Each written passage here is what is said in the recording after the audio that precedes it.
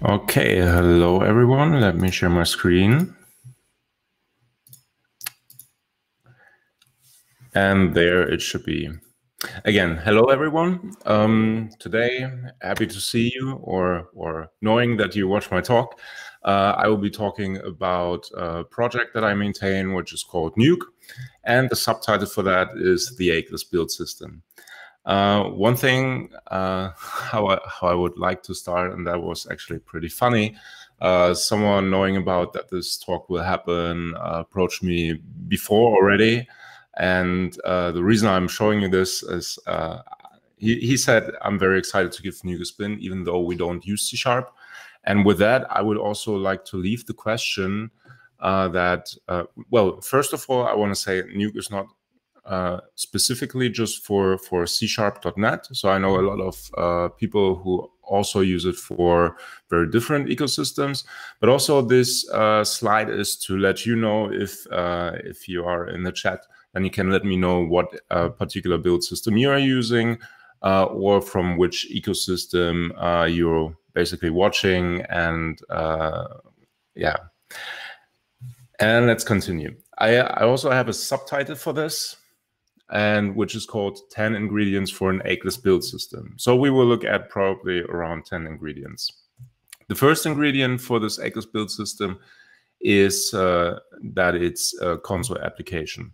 So naturally, if you've uh, dealt with MS Build, for instance, or or Fake and Cake, um, those are uh, very special uh, some of those use a scripting approach. MS Build uh, is written in, in XML.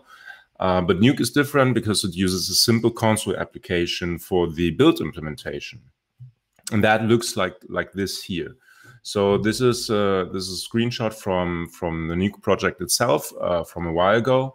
And as you can see, I have my simple solution here, and I have a build project which is marked as not being built. That's just to make it not building itself, basically. Um, but this build project here is basically just a console application. And we all know console application is something that probably everyone can handle.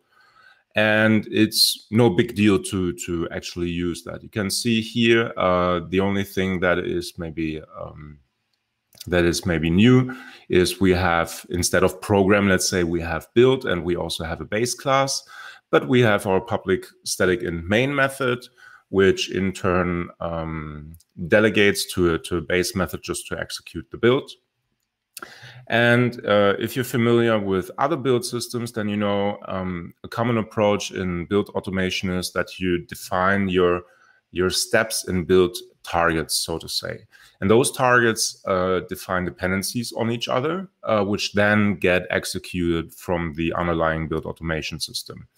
So uh, speaking of the hello world example, for instance, uh, we would define a target hello, and we would define a target world, which in turn depends on hello. And due to this dependency, um, eventually, if we would execute that, then first we would see hello, and a second target, uh, it would print the world target. But th those two targets currently don't do anything. Uh, also note that uh, here in, in the static and main, you can define the default target which is executed. So naturally, from the um, from the command line, you could pass the target that you intend to ex execute. But if you don't execute anything, then world will be uh, the default. One very uh, distinctive characteristic of Nuke is that it uses symbols for the actual target declarations. So um, if you look at, at MS Build, for instance, then targets are uh, stringly, uh, how's it called, typed because um, they are really only strings. And if you rename the target in one place, you really have to make sure that it's renamed in the other place as well. And so if you would rename one of those, and those are actually properties here, uh, just with a fancy uh, tail back here, because it's a, a target is a is a delegate, and those are expression bodied members. Um, but otherwise, from from down below, uh, what we what we are getting is basically just a fluent interface. And the implementation for a target just resides in this execute lambda, which is uh, empty in this case. And uh, yeah, with that, and, and particularly, I forgot that um, you can just set breakpoints like you're used to. That is really important because that's something that not every build system uh, supports nicely. In every uh, IDE that you're using, editor, no matter what, if it supports debugging, you can immediately start uh, start debugging those. The second ingredient is the global tool, which makes it really easy to approach Nuke and also continuously uh, use it. So the first is, uh, and I have that installed on my local machine, of course, but the first thing is you install the Nuke global tool as a global tool. So this is, uh, for those that are not familiar, that is uh, the new way in .NET Core or nowadays .NET uh, to install tools that are globally available. And with that, uh, we can actually use a global command, which is called nuke. And here, what you see above here is the help output. So if I type nuke dash dash help, then this is what gets outputted because here we have a couple of uh, targets that would be like we had before, um, hello and world. And we also have a couple of default par parameters, which are in this case uh, like graph help, etc. Help, like, like, I mentioned, is what this uh, what will show this dialog. And down here, and that that's very interesting as well uh, you can already see that Nuke supports some kind of uh, shell completion. And the, uh, let's go through it. So first we type CO complete to compile, which is a custom defined target. We can skip targets, in this case, clean, for instance, and restore. And we also have a verbosity parameter, which has one value uh, of verbose. Yeah? So verbosity in this case would be an enum actually. And the great thing also here is no matter if if you're if you're adding custom targets of course that's and custom parameters of course that's the that's the idea of build automation then those will also be available from here so it's not just the conventional ones that are defined um, that are predefined but also your own. Um, this is so to say the start. When when you're inside a repository with nuke then what you do is call nuke uh, colon setup or just nuke. That also works because it knows there's no uh, it, it's not being built with nuke yet. And afterwards you get into some kind of uh, setup wizard so the first thing you do is um, giving your build project a name some people prefer dot build instead of underscore build uh, you can define where it should be located. Um, you can uh, choose the version. Uh, you can tell it's pretty old that that image because we're currently already at 5.1. But anyway, I skipped from 0 point 5, 5 point already. And uh, you can also define to add this project to the solution. What we what we saw in the very uh, first image, which is usually the default for me, but you can also choose to leave it out from the from the um, solution file. And there's also a more elaborated wizard, uh, but in this case, we will just uh, skip that. And afterwards, uh, after the setup has completed, um, we will find a couple of uh, changes that have been applied. So the first is there will be a nuke file added. Actually, and that's one of the recent versions, that's why I haven't uh, changed it yet, uh, meanwhile, it's a nuke directory. So .nuke directory will be sitting usually next to your .git or .svn folder, uh, uh, depending on what you're using. And uh, before that, .nuke was referencing that default solution we just picked from the previous step.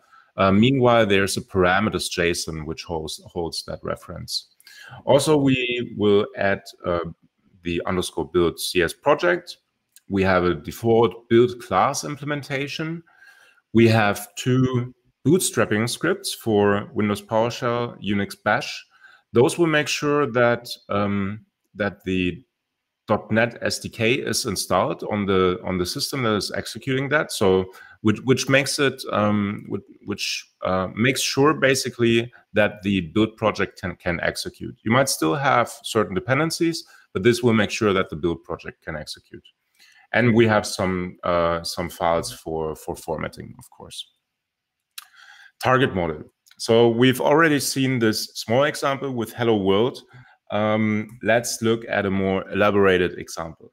In this case, I have a, a compile target, and you can see unit tests and integration tests are depending on compile. I know usually you would draw the arrow in the different way, but I remember this was uh, this was captured with a JavaScript framework. I didn't know how to how to change the uh, change the direction. Um, test in turn is dependent on unit test and integration test. Pack is just depending on compile. And as you can see, we also have a clean here. And let's just look at clean and compile. Uh, that basically means that compile is not dependent on clean, but when those two are executed together, then clean should be scheduled before, right? Because you, you, you don't want a hard dependency, but more of a soft dependency that only gets considered if those two are um, executed in combination. And as you can see, uh, publish, for instance, is in, in eventually depending on compile, but it's also actually uh, depending on clean. So uh, this way, uh, if we execute uh, publish, for instance, then clean will actually get executed. and then the rest, of course, also inspect, which is for inspecting code. And also here you see a, a, a yellow arrow, uh, which I hope it's uh, you can see that, and that is to uh, define a trigger. So this is this is a bit of a um, this is about semantics basically because if you had an announced target which um, which posts a message on Twitter, for instance, for a new release, then you don't exactly want to invoke the announced target. That's that doesn't sound doesn't sound great. You want to invoke the published target, which in turn triggers the announced target. There's a bit of semantics here. And also important to note here is um, before we saw this depends on, but Nuke uh, for all those um, for all those different dependencies allows to define it either from from the source or from the target. So we could say um, compile depends on restore, but we could also say restored is dependent for compile. Yeah, and this uh, goes through all of these. So for for ordering dependencies, those soft dependencies I mentioned, uh, you can use before and after. Uh, for triggers, we can use triggers and triggered by. Um, then there are some some more um, Fluent APIs, which is assured after failure that is something that you probably uh, would do for for a cleanup target that should be executed at the very end of all your targets. Or announce for instance you want to say proceed after failure which would mean even if announce would still have targets afterwards then if announce fails let's say the credentials are not right then you don't really want to fail the build but you want to proceed after failure also, and this is uh, very uh, uh, depending on the situation, but you can also define conditions whether a target should be executed, uh, which can be either statically checked, which is um, at the moment the build will start, or dynamically. So uh, statically is something you could check, for instance, if you're running on AppVeyor, for instance. Uh, with dynamic, you would check something like uh, have those files been created already? Because uh, one of the previous targets is supposed to create those files. Um, so you have conditions, and uh, if those conditions are not met, then the target will be skipped. And also for this uh, skip behavior, uh, we sometimes need to define whether the dependencies of a skip target should be skipped or not. That you can do as well. Uh, I uh, for, for, at the very first when I when I was implementing that feature, I didn't I didn't feel like this is necessary. But in the end, yes, there are rare cases, um, but there are cases for that. Okay, the next is CLI tool support. Just give me a second. CI tool support, and that is um, why is that important? Well, most build systems are depending on uh, on third-party tools, like for instance, XUnit, OpenCover, Docker, um, what else? You name it. There, there are several of those. Yeah, and and the reason, I, actually, I have this graphic, right?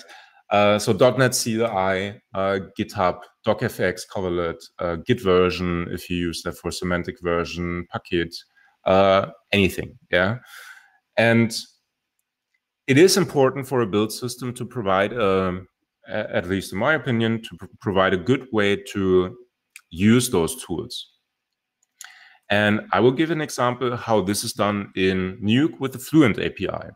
So let's say we want to invoke .NET build, build as a command. Yeah. Then we can type DNB for .NET build. That will complete to a method.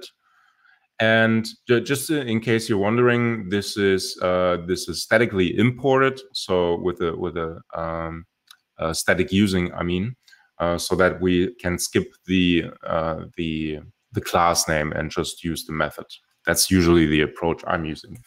Afterwards, we can use uh, Lambda to further define what parameters should be passed. So for instance, in this case with .NET Build, we can could say set project file and we pass the solution, which is also an object. We can continue and say uh, for, for a Boolean parameter, for instance, with uh, with no restore, we could say it should be enabled. We could say it should be disabled. Uh, and we can also set it. So with set, you actually have a, a Boolean argument that you pass if it's depending from something uh, else. And we can also toggle. And why do we have this set of, of manipulation APIs? Well, it's the builder API that is that is used for that.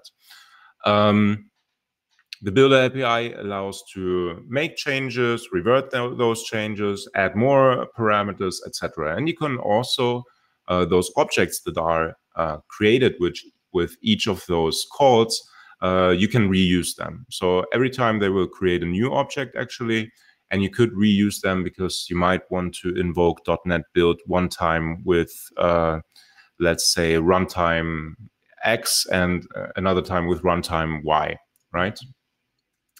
So we can enable no restore for, for verbosity because it's it has a closed set of arguments that we can pass. You can actually see that we see this set. So it's uh, not possible that we by accident pass the wrong one because I, I can't count how many times I've pa I've uh, passed uh, what was it uh, verbose instead of detailed or diagnostics, for instance. Yeah. And yeah, and then we have our call. And also important, if you go to one of those methods, you can invoke the help. And what you see here is actually the help from the uh, from the official documentation. In this case, uh, MS Build. I think I forgot to mention it here for the for the general call. We have that too, so you can see what .NET Build is actually doing, and that helps. Well, if you're flying around ever again, then uh, this helps to actually know what's happening behind the scenes. Um, those Fluent APIs are not written uh, manually, but they use some kind of specification where I gather the metadata about arguments. So for instance, project file is a string. Uh, it will be passed with just the value. Here's the uh, help text. Uh, configuration is similar, but it gets rendered on the uh, for the process invocation with dash dash configuration and then value. No restore is a Boolean, right? And it gets rendered as dash dash no dash restore, both uh, with the help text. And that that specification supports a variety variety of um, of different types, like um, like dictionaries, lists, uh, lookup tables, etc. Uh, one more specific case here is composition because this Fluent API makes it really easy to compose your uh, calls based on other conditions. So let's say you want to uh, uh, .NET test, and only when published test results is true, so in this case, this is a Boolean, then you want to set the logger and want to set the results directory. Yeah, something like that. And you can do this very, uh, very conveniently. Another example for composition is here for .NET uh, NuGet push. So in this case, I'm pushing all my packages. First, what I'm doing is set the source. Set the symbol source and API key. And now I want to pass all my NuGet packages, right? Let's say I have five NuGet packages. Uh, what that means is that I have to use five invocations of .NET NuGet push. What I do for that is because the first are common parameters, but then I just use combine with, pass the collection of packages that should be that should be published, and then I know this is a bit fancy, and meanwhile I also use different naming.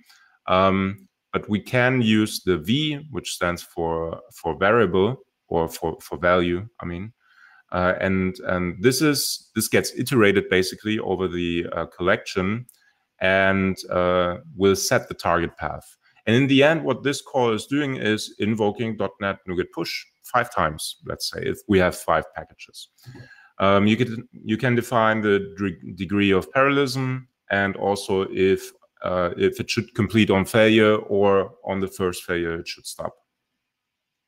This is how it looks, by the way, in in something like Bit, Bitrise. I think that was was it. So you see here the invocations, and then we have the output, and and uh, this is mixed because we uh, we allow the degree of parallelism, and yes, exactly.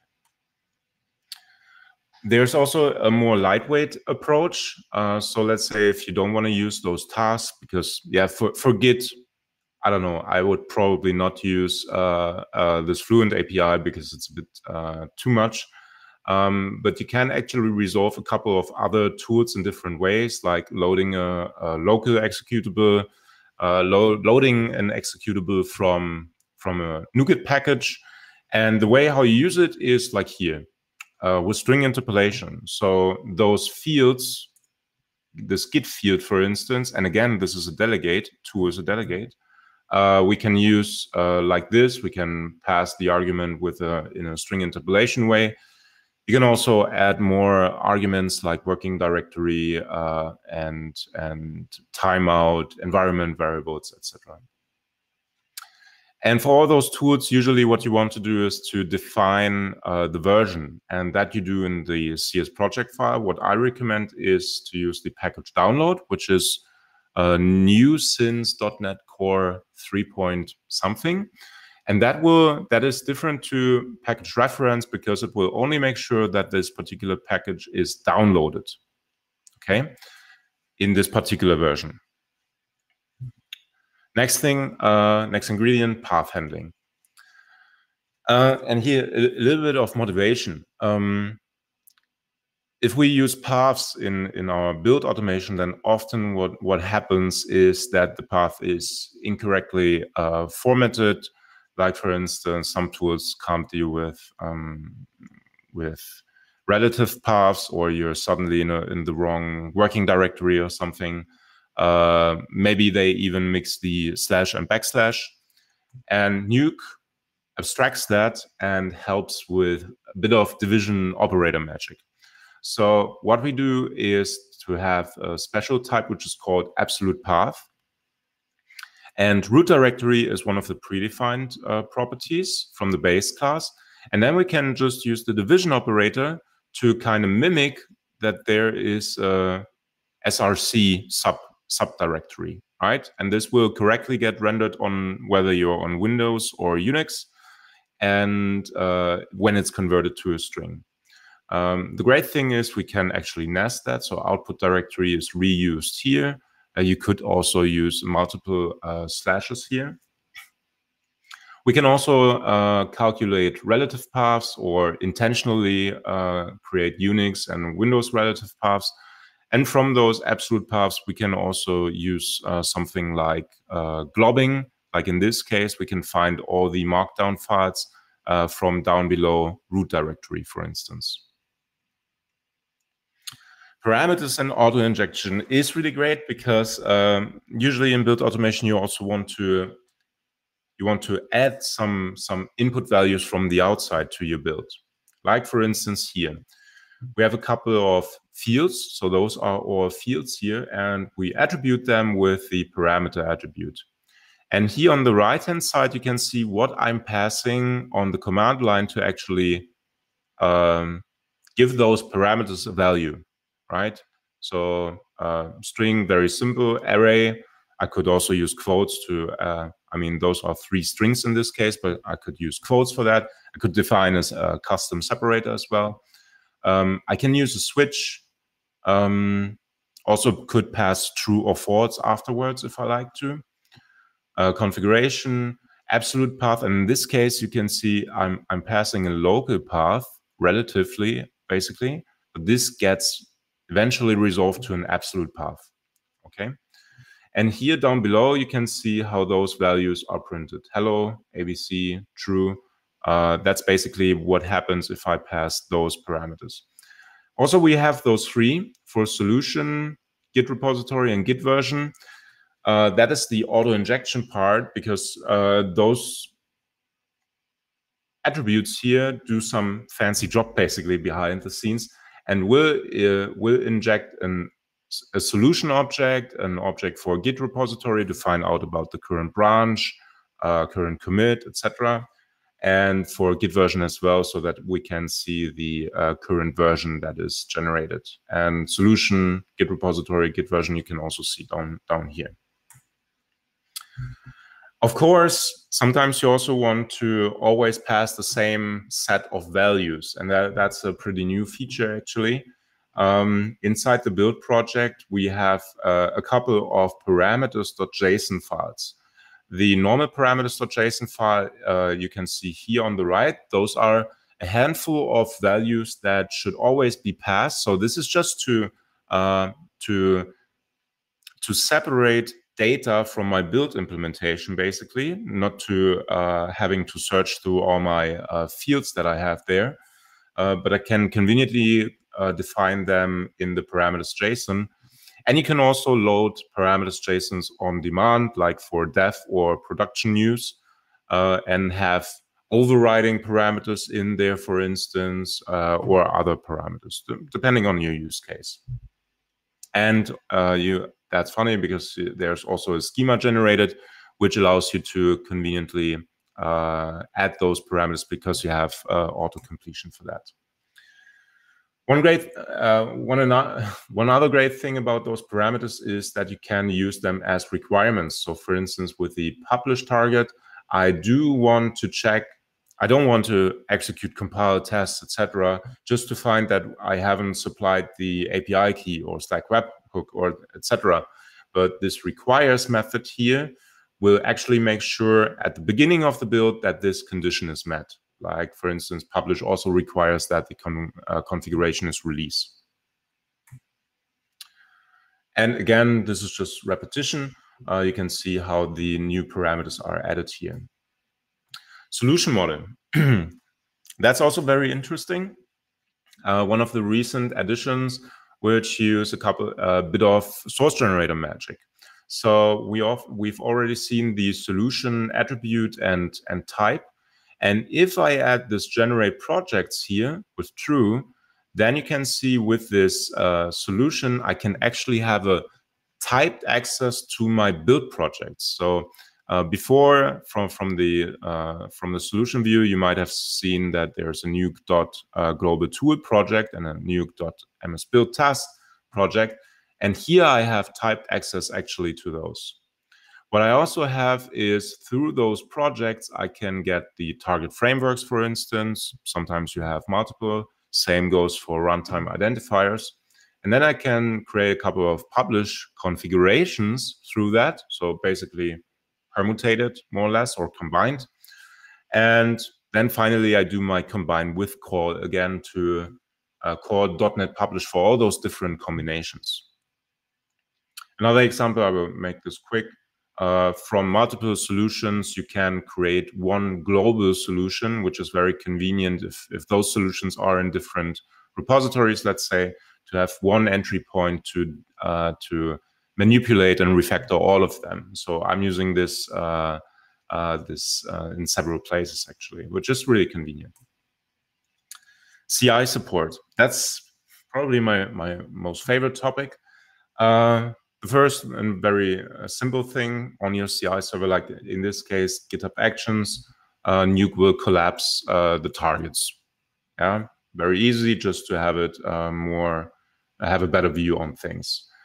The second more interesting thing is configuration generation. because for AppVeyor, for instance, you might know there's an AppVeyor YAML file. And many others also have this YAML file or something different, Groovy or, or Kotlin. And with this attribute, what Nuke does is to generate this YAML file for you in a in a very strongly connected way.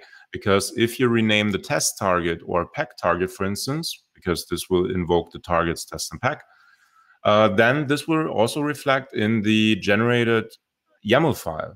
Yeah. So you won't run out of date. Uh, you might forget to regenerate those, um, but it's very easy to generate those files. And in this particular example, you can see we have two images on which it will run. And it's, it's just invoking the build.ps1 file. Very easy. Okay, you could say that's not worth the effort. but I will give you a couple more examples.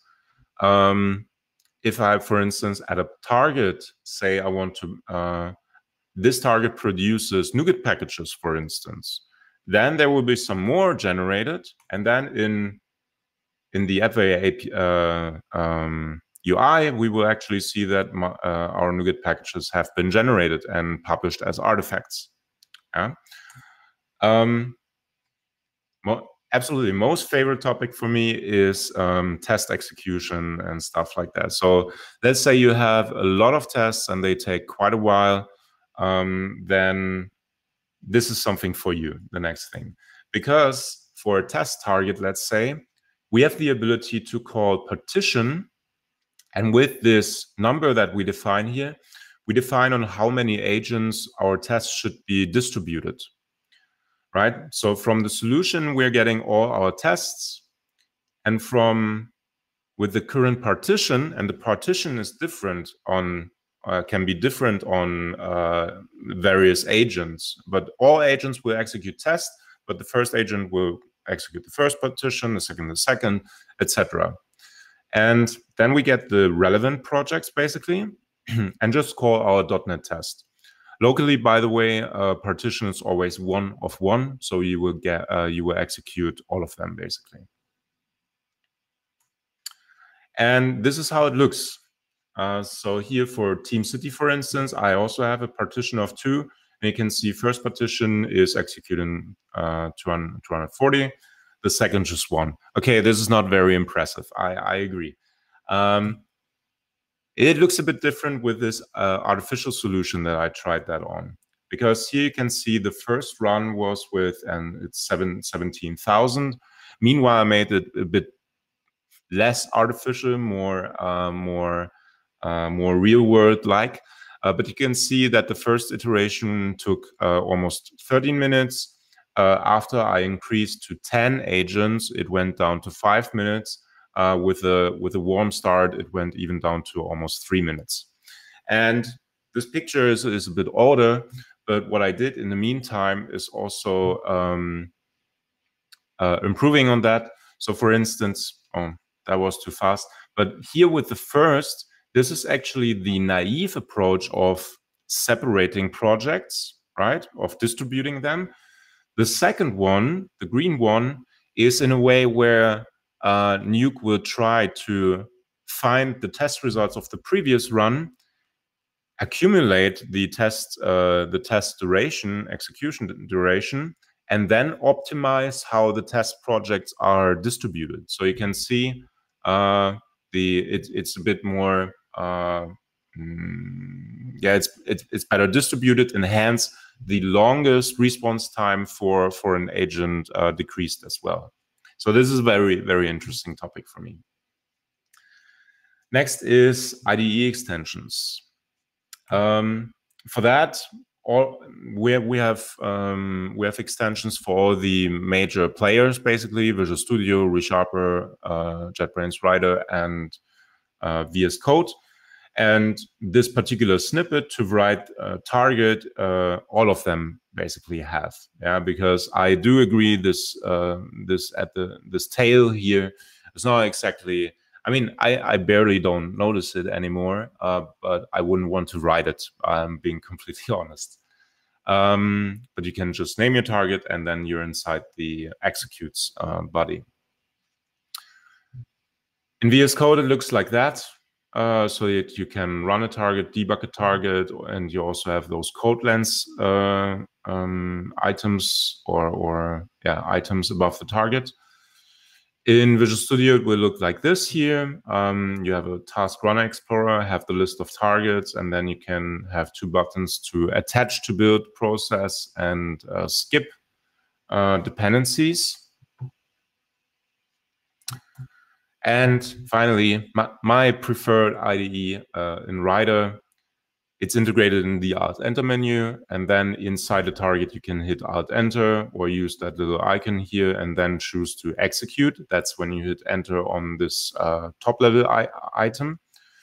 Or you can debug it or run debug without dependencies, which is important for troubleshooting right? Uh, so if, if I'm writing a target, I don't always want to repeat the same target over and over again, uh, but I want to run just without dependencies.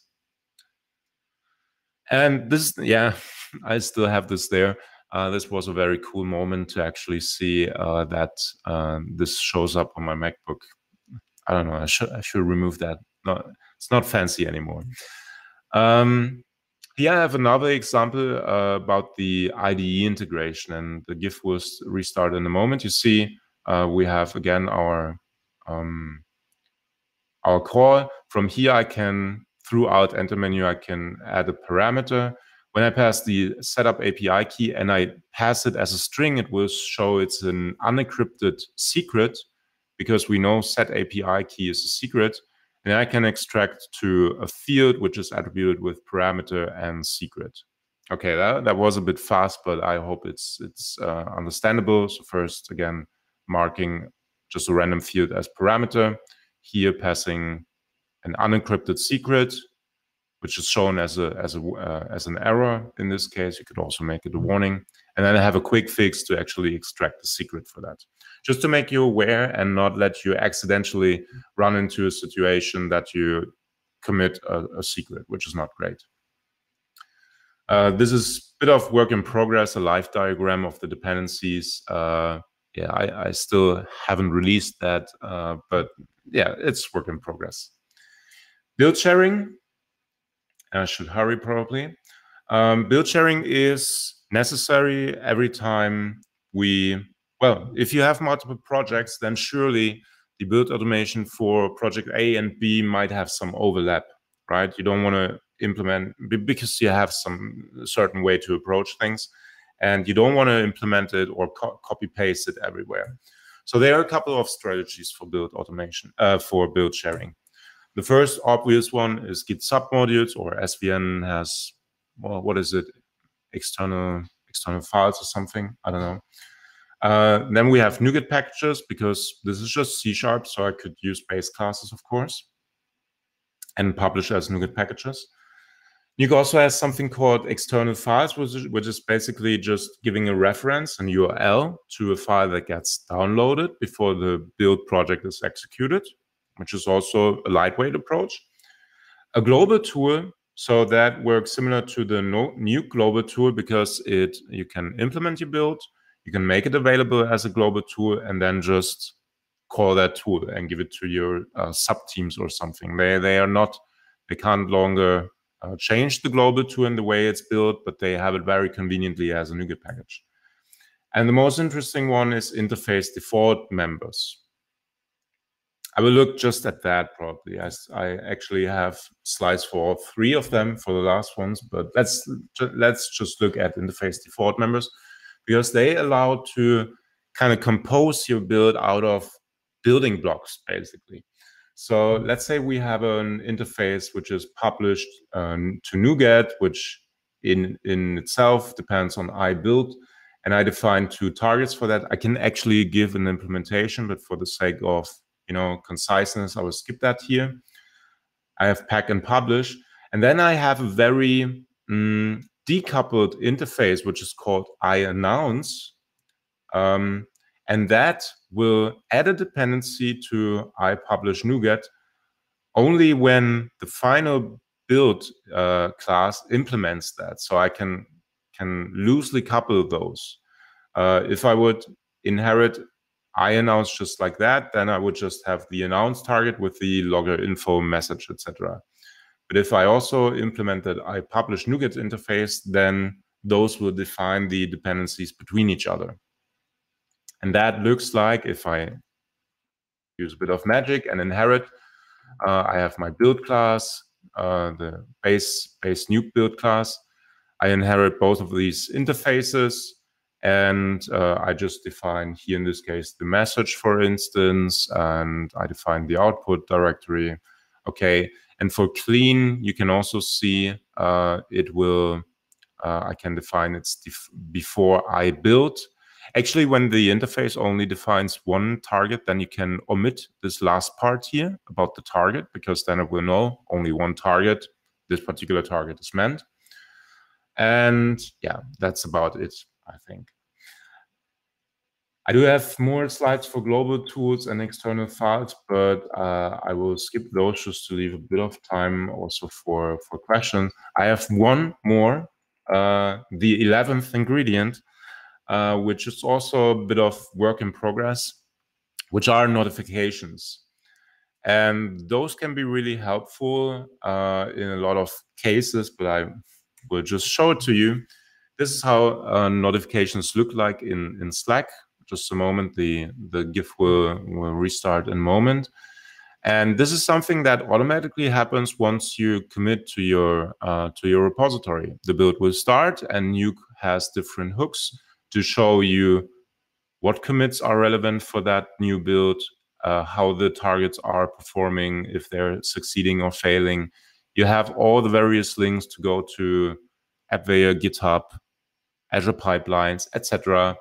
Um, it even finds out who was the committer through the Slack API and then can tag that particular person. Also, you can see down here it has an ETA. That is from the previous executions. It knows how long it uh, it will probably take. So that that's why we can give uh, ETAs and uh, yeah, a couple more uh, things. Okay, that was it from my side. Um, thanks for for uh, watching. Down there below, you can see a couple of links. Uh, I would be I would appreciate if you give it a if you give it a star, if you follow on on Twitter or visit the website. And yeah, thanks again for watching. And now you can ask me anything you want. I will keep a keep an eye on the chat and QA and see what happens.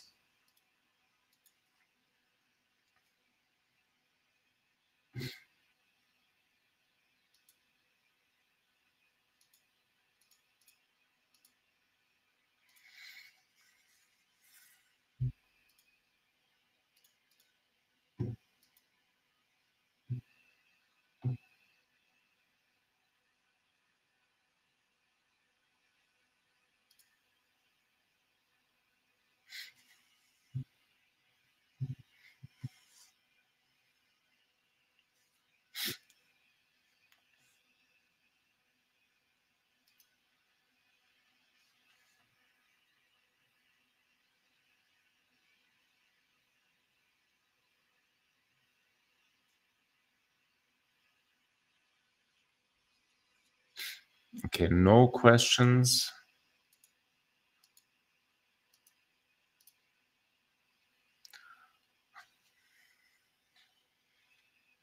Just C sharp gang, someone said.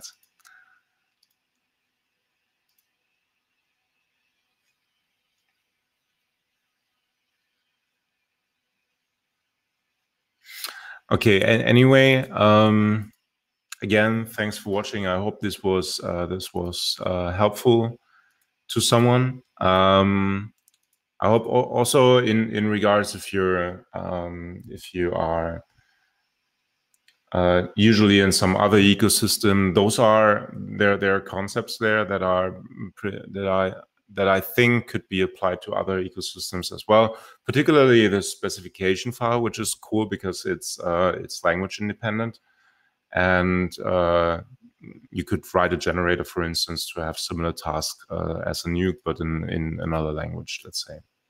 Okay, but yeah, thanks again. Uh, and with that, I will just end the session, and I wish you all uh, a happy or or a good good uh, ongoing conference or the rest of the sessions, and have fun, and hopefully see you another time. Bye bye.